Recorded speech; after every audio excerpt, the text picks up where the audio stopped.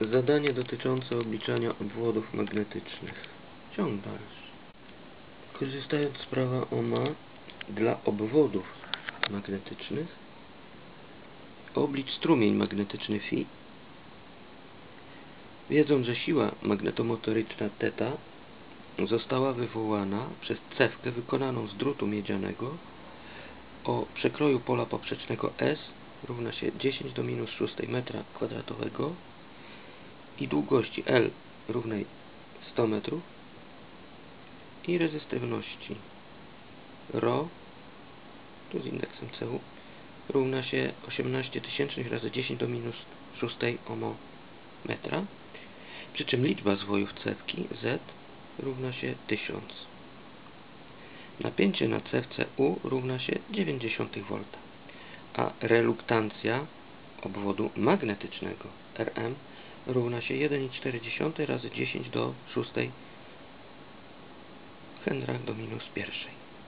Zadanie staraj się rozwiązać wyłącznie przy pomocy kalkulatora.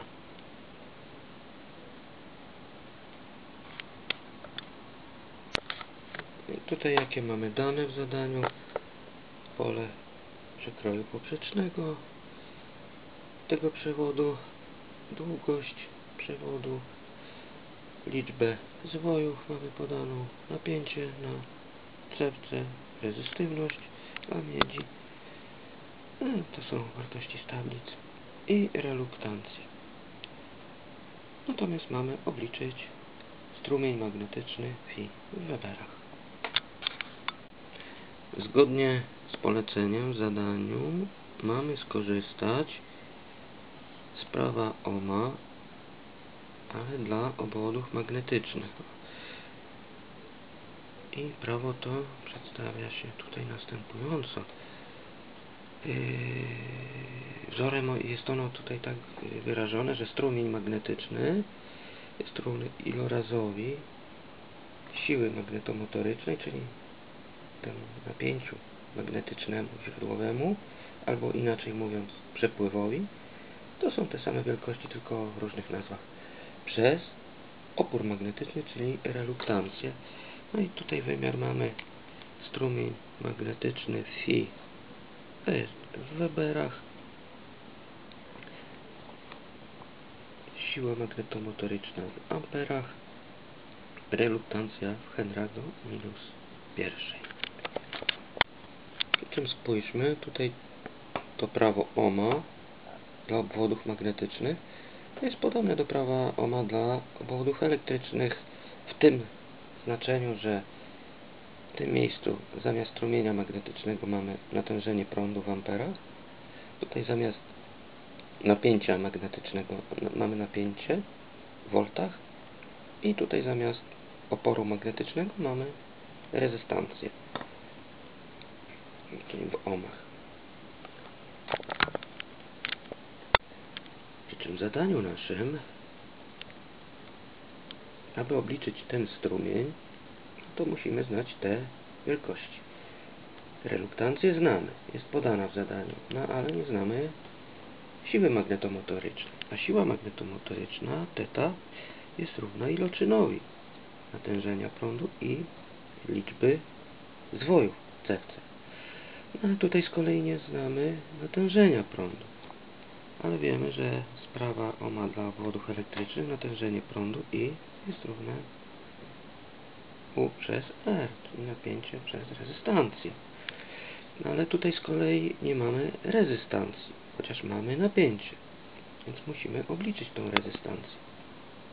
A rezystancja dla przewodów R to się równa rezystywność razy długość przewodu przez jego pole przekroju poprzecznego.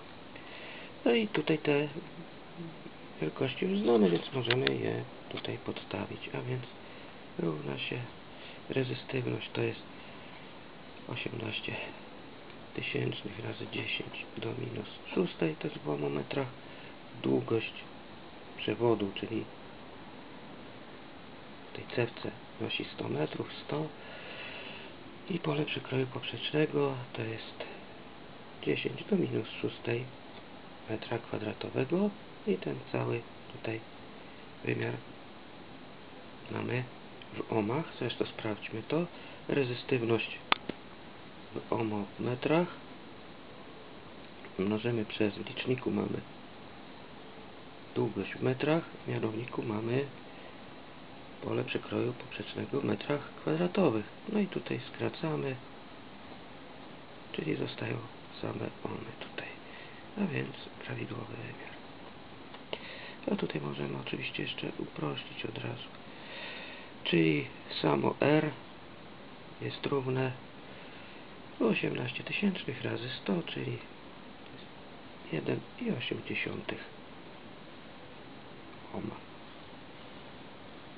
Czyli taka jest rezystancja tej cewki, tego przewodu na tej cewce. No skoro mamy rezystancję, to wracając tutaj do tego wzoru, możemy teraz obliczyć natężenie prądu. A więc natężenie prądu I, jeszcze raz tu napiszę, U przez R jest yy, równe napięcie mamy podane w zadaniu wynosi 90 V a rezystancja ta przed chwilą przez nas obliczona 1,8 ohm przez 1,8 a to się równa 0,5 amperach. Jeszcze raz to napiszę, natężenie prądu i na tej cewce wynosi 0,5 ampera. No i teraz znając to natężenie prądu możemy obliczyć przepływ.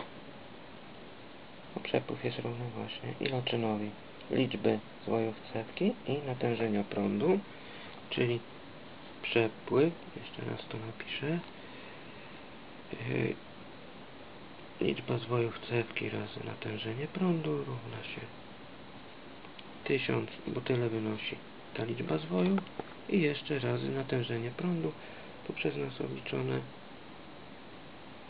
wynosi 0,5 ampera a więc tutaj mamy przepływ, który równa się 500 i to jest wymiar w amperach. Jeszcze raz to napiszę teta równa się 500 amperów. A tutaj mamy według tego wzoru no i teraz możemy znowu wrócić tutaj do prawa Ohma dla obwodów magnetycznych, gdyż mamy właśnie już obliczoną tą wartość θ. Tą wartość mamy podaną w zadaniu, reluktancję, no czyli już ostatecznie możemy obliczyć strumień w Weberach, więc phi równa się, jeszcze raz to napiszę θ przez Rm, czyli równa się przepływ tutaj 500 amperów podzielone przez reluktancję, ten opór magnetyczny wynosi 10 do 6 w na metr, ale wymiar i tak to jest strumień w Weberach, a to się równa 5 dziesiątych razy 10 do minus trzeciej Webera. Jeszcze raz to napiszę, to już jest odpowiedź końcowa. Strumień magnetyczny równa się 50 razy 10 do minus trzeciej Webera.